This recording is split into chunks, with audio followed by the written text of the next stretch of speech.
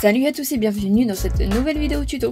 Et aujourd'hui je voulais vous montrer comment j'ai réalisé ce petit bijou. Un petit clin d'œil à nos amis les abeilles.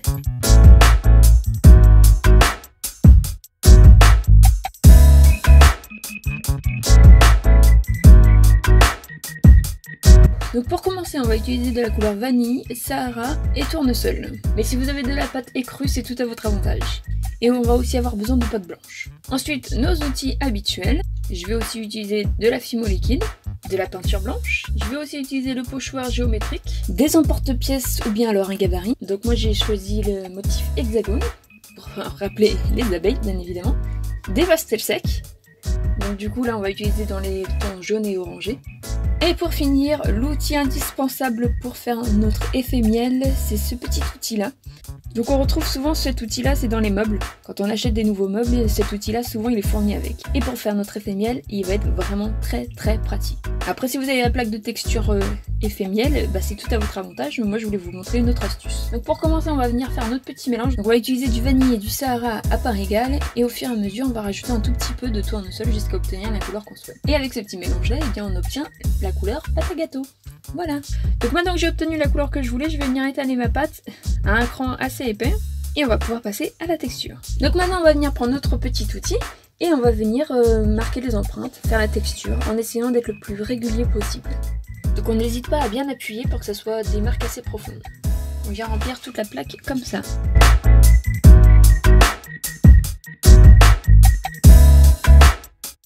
Et on n'hésite pas à repasser une deuxième fois par-dessus pour avoir des belles empreintes.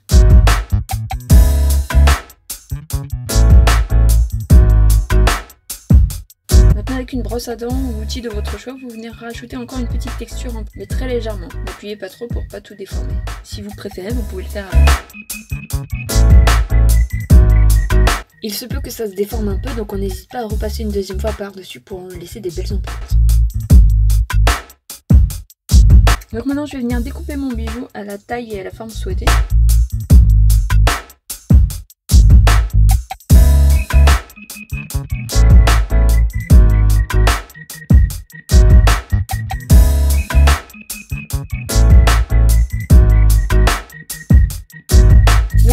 Passer au pastel sec. Donc on va venir euh, remplir toutes les alvéoles avec du pastel sec et de la fimo liquide. Donc vu que je n'ai pas les couleurs adéquates, et eh ben, je vais faire mon petit mélange.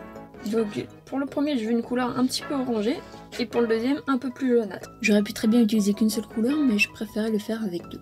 Mais après c'est comme bon vous semble, bien évidemment.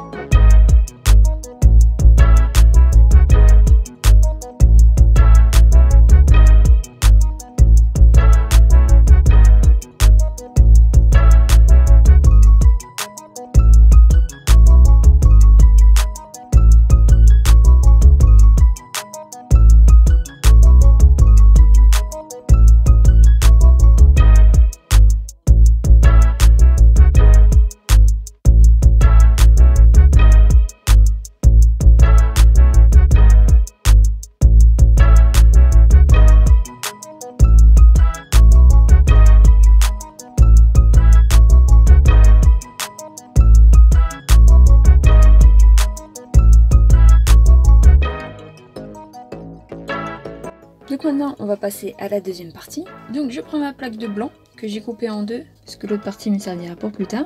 Et maintenant, avec les mêmes pastels, on va venir faire recouvrir la plaque de blanc, tout simplement. Voilà, aléatoirement.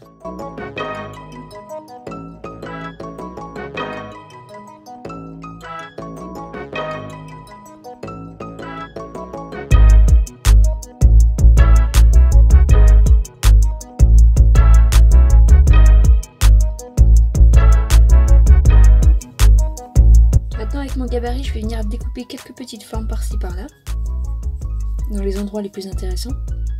Je coupe par avance mon troisième pendentif, que je vais utiliser après.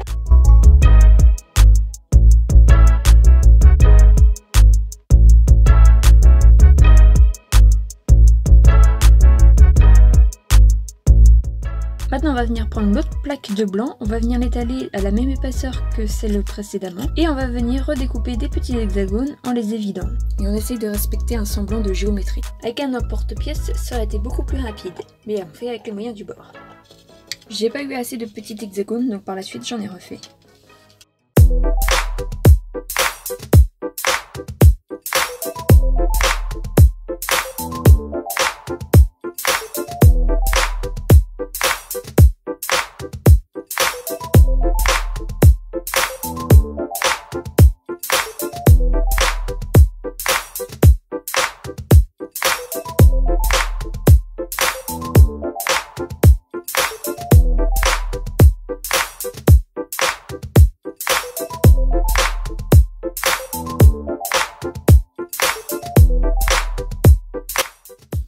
Donc maintenant on va venir passer un petit coup, de rouleau pour, que, pour souder toutes les parties entre elles.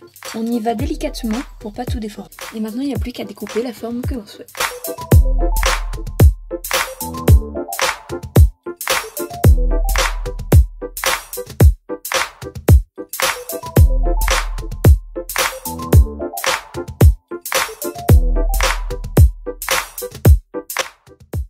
Donc maintenant, on va venir prendre le petit hexagone qu'on avait mis de côté au début, et on va venir faire notre seal screen. Donc là, ça se passe de commentaires. Maintenant, je pense qu'on sait comment ça fonctionne.